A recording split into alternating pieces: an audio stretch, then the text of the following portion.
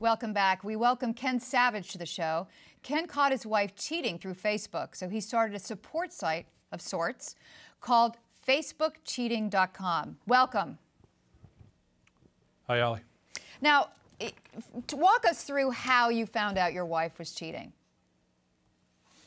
Well, when you walk into the room and she's on a computer and she closes the uh, laptop very quickly, or you know, a quick, "Hey, it's you. What are you doing home so early?" type thing. Mm-hmm. You know something's going on, and it's you know, the middle of the afternoon, and you know, it's kind of weird that you jump so high. You know, I didn't really startle you, so that that's a good indication or a good right. start, anyways.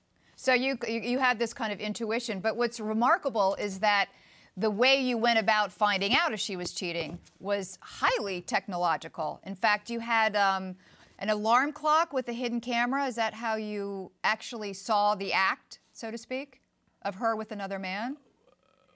Well, it started off with just recording. You know, I have asked a dozen times what's going on, who you're talking to. If it's old boyfriends, it's fine. I don't mind. I trusted my wife.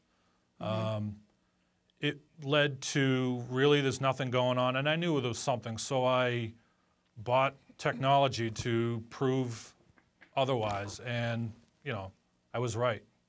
And so um, I'm curious. You had this hidden camera, and you videotaped your wife with this man, which you then walk, watched streamlined at work, correct?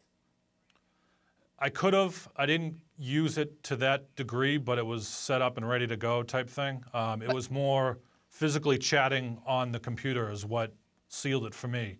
So, Ken, um, you didn't also, actually watch videotape of your wife having sex with another man? No, no, no, no, no. Okay. No. It wouldn't have gotten that far, that's for sure. Yeah. Um, well, it's I, I went on your website and it's um, it's basically people who have been cheated on writing their stories of how they dealt with infidelity. Uh, now, uh, it's gotten a lot of hits. It's become extremely popular.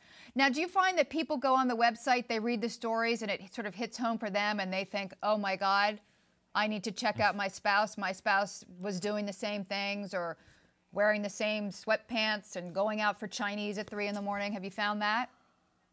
Right. It, um, a lot of people come and ask questions like, I'm an expert at spying on your, your um, spouse. I'm not. I just try to put the story out there on how I found out and how easy it was to use Facebook to set up relationships. Um, you know, I just wanted to trust my wife and I used technology to prove otherwise. Well, it opens up a whole other world for relationships. Don't you find that, Bethenny? Well, I, I, mean, I think that you can't really have much privacy with Facebook and Twitter. I mean, someone could be in a restaurant uh, thousands of miles away, and you could find out exactly what they're doing. So, I mean, it might it might be a way for people to catch their spouse is cheating. It's sick, I think Facebook's a wonderful way of finding out if your partner's cheating on you or not. As sad as it is, it's a it's a product of but at know, the same 21st but century. at the same time, if you're dumb enough to put that on Facebook, then you're going to get caught anyway. So what's the point? True. Well, I think a psychiatrist so would probably you say do. you were dying I mean, better to, to be caught than not know at all. But it wouldn't be right. you, it, necessarily you, sir. It might be someone just saw somebody and posts a picture. It doesn't have to be that you're you're doing espionage. Well, it then you be... confront your partner. But isn't it better to put it out there and know than live in denial? You know, what, what what's the point of that? What's the point of swimming in denial? Let's Cheating know if is I'm confused. You were the mistress, right? I just want to. You were the mistress. Swimming so it's shark, the dishonesty that is wrong. I it's was. Not the sex that's wrong. So how have and you been demonizing wrong as a mistress? Because I'm we've surrounded it with dishonesty. Holly, excuse me one second. We, how we are need you? to start Holly, excuse me. How are you wronged if you were the mistress? I'm really confused. How are you wronged if you're the mistress, Sue? Um, a mistress encourages her, her, the man in her life to lie to his wife. I know, and I'm this is not Sue. about lying. I'm asking and, Sue. and the cheating listen, website listen, a mistress is, is very about much like a lying wife. as well. A mistress and a wife has a lot in common. They are both in love with a man who's cheating, cheating on them and lying to them. A mistress is very much like Negotiated a wife. They infidelity are both in love with a man who's Except that you're the mistress. You knew what was go. You knew. You know that the a mistress married. is a dishonest wife. I know, Holly. A mistress Let a is a dishonest wife. She's a liar. Holly, okay, you need a all muzzle I can for hear one is screaming. second. this Can is I about answer honesty. the question or not? All right, I, I, I, need to take over as much fun as it is to watch the big cockfight out here. Um, I do want to ask Ken one question, which is Ken, have you found that as a support group, your website has really worked? Do people comment to each other? Do they befriend each other and say, "Hey, I went through the same thing, and you know, this is how I'm dealing with it"? Yeah, a lot of people they go on the website, thousands read it, hundreds um, comment, and they say, you know, nobody's saying, "Hey, thanks for uh, for the information." They're telling their story. Um, I told my story, and I just kind of sat back and let other people do theirs. They're I, revealing what's going on, and right. Um, that's part of the community. That's part of what the website, why it's so successful. Well, I think um, it's great, people and sharing I, and finding out. I think it's great, Ken, and I actually think that you're going to find probably the love of your life somehow on that support website. So good luck to you. And more on marriage, right. monogamy, and misbehaving spouses. And if I'm lucky, I can get all three of my guests in a big mud pile together. So stay with us. We're back with Bethenny Frankel, Holly Hill, and Sarah Symonds, and we're talking about infidelity, a very hot subject that could really take us through till breakfast. The one thing I really want to um, get a strong uh, opinion from from all my guests is what you three women believe in when I say, does infidelity make for a stronger marriage? Now, call me old-fashioned. If my husband cheats, I leave. I, I write a tell-all book. It becomes a movie with Meryl Streep, and I'm happy.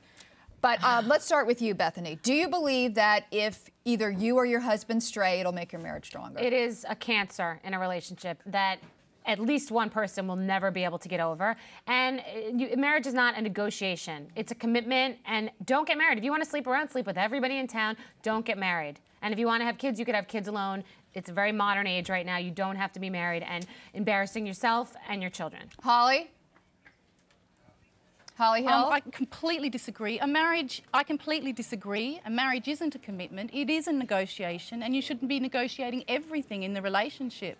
And that if you, if you bring out your man's competitive nature, which is part of his biology, your marriage will be much healthier for it because he's not going to want someone sitting at home that's dedicated to him 24 7, that's got the kitchen apron on and has let herself go. But if you're both out having other lovers, it is the sure way to keep the marriage alive and healthy.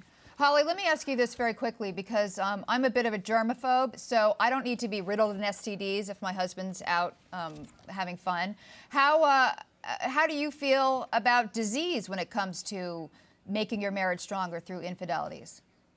How do you answer that? Well, it's a, it's a very big it's a very big rule, and this is the thing. If you're managing your your partner's fidelity, if you walk, if you're walking the dog on a leash and not letting it escape through a hole in the back fence, you're going to make sure it doesn't get fleas.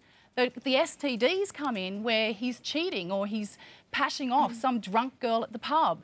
You know, if you take control of the reins, you aren't going to have STDs because you are you're in you're in control of the situation and you're making sure that they use protection.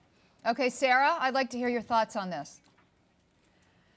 Okay, I'm a little bit torn between Bethenny and Holly because I agree with Bethenny amazingly in the fact that, you know, if your relationship is the right one, you shouldn't be looking for somebody else. And I, as I said earlier, trust me, if there's a real housewife, there's a real mistress behind her.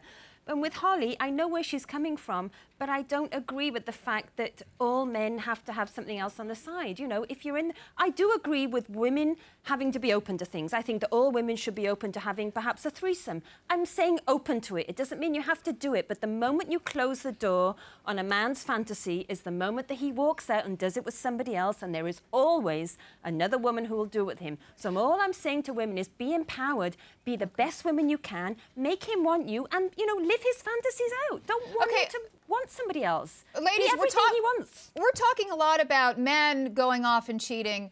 What about the woman?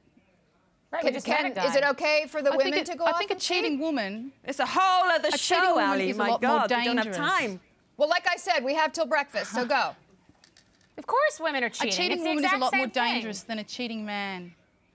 Because but, women I mean, have sex for you intimacy, think of the whereas world men as have women, sex for the thrill. You think of the world as women in aprons and men going out, you know, like like animals. I mean, it's it's a lot more equal now. I mean, I'm certainly not. I'm ironically a chef, but I don't spend that much time in an apron. I mean, I'm a business person. I'm, you know, equally as strong-minded as a man. Listen, if my husband is going off with, you know, stewardesses and cocktail waitresses, then, um, you know, I'm heading out on a Greyhound bus to LA to find James they Franco. They may not be cocktail waitresses. They could be nurses and doctors and lawyers. Don't don't stereotypical the, the type of other woman you think that they're going after because it's so not true. But That who is has ever seen who has ever seen a successful relationship or marriage where both men, uh, men and women are outside of the marriage having infidelities? I have not seen a successful marriage. I think it's where happening a lot. And I've seen equal Okay, how about Bill Clinton and. Hillary? How about Bill Clinton and Hillary? That's a successful marriage when they were doing their own thing outside of the marriage.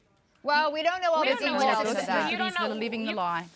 Ladies, I think in this topic we're swimming with sharks, and now we are literally going to go swimming with sharks. We're going to get ready to hit the beach in Cape Cod and find out why there are so many great white sharks.